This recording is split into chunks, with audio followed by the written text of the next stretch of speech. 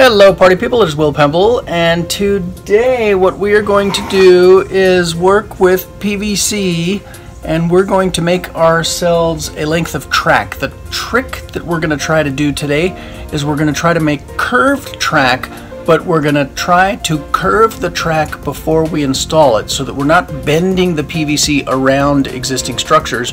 We're going to bend the PVC before we install it so that when it is installed, it's not under any stress or load. The only stress or load that will end up on the track will be from the cart and uh, the cart rolling around the track. So that's the goal today, is to create a 20 foot length of bendy track.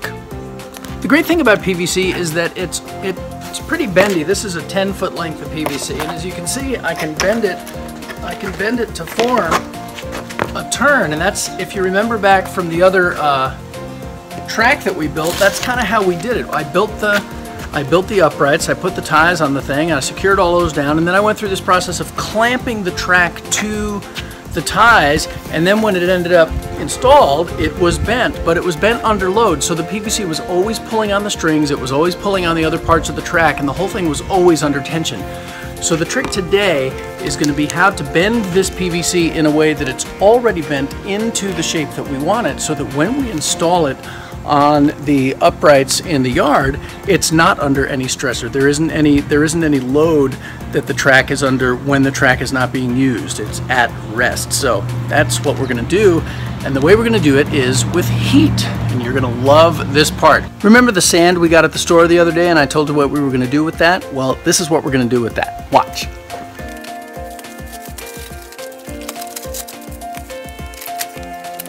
You know what sand is really good at doing?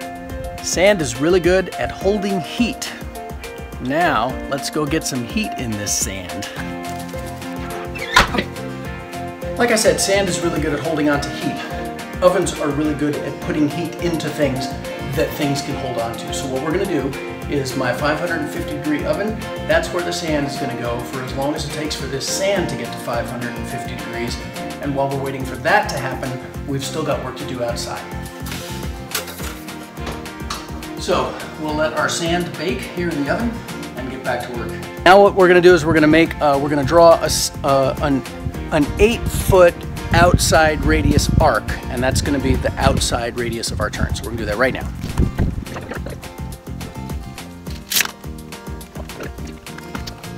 This is one of the very first ties from the very first coaster that came from the house. It's in the garage, along with a lot of other stuff that probably shouldn't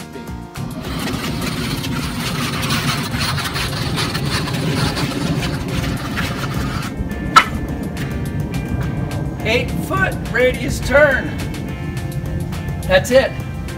So now all we gotta do is figure out a way to bend the PVC around that, which is our next step.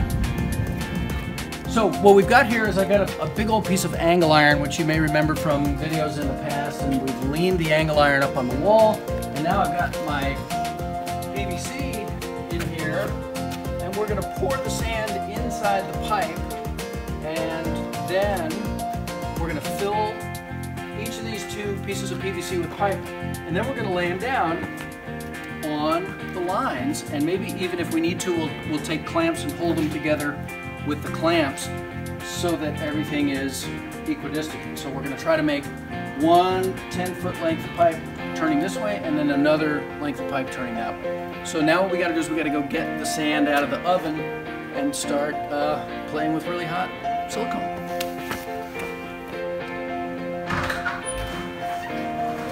Okay, let's see how our sand, uh, let's see how our sand is going. We've been going for about an hour and a half at 500 degrees, and so I'm going to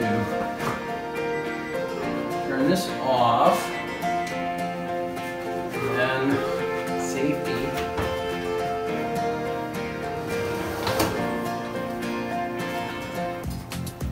Wow, it's like smoke coming off here. I'm hoping that's just oil. We'll find out. Come on, let's go. Okay. So, I'm just gonna pour the sand in here and see what happens. Ah.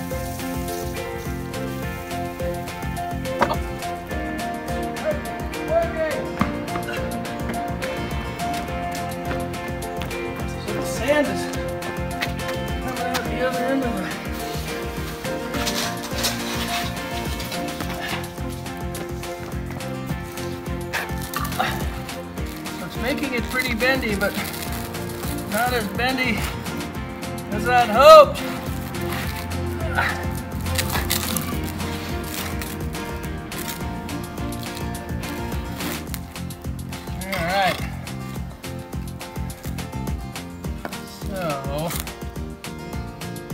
Need forms for this.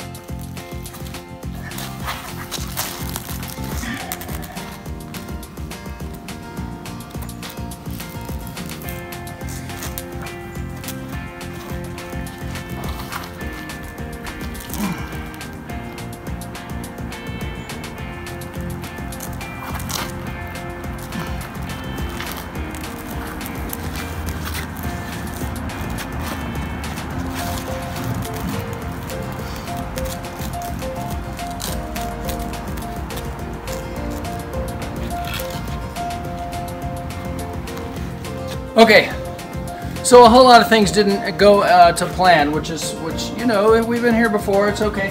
So this was our first, this was our first rail, and it went pretty good. The sand went in really hot. It got a little bit out of hand. It spilled around the edges. It wasn't perfect, um, but we got the form of the pipe to go pretty well. The second one I did with the same sand, it was a little bit cooler. I didn't quite have enough of it, and you can see I sort of ran out of sand right about here. And then I tried to bend it around the first one, which didn't work exactly as well as I had hoped either. And so, is this better than it would have been if we'd have just started with straight pipes and tried to, you know, force it to fit the track?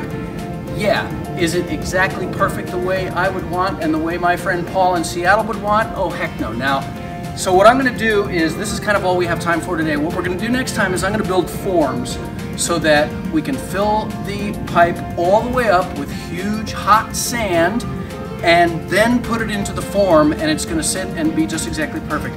I may even go so far as to purchase a funnel so that I can get all the sand inside the pipe. But that's all we got time for today. Thank you for helping me bring physics, family, and fun to kids everywhere. I am Will Pemble. I will see you soon.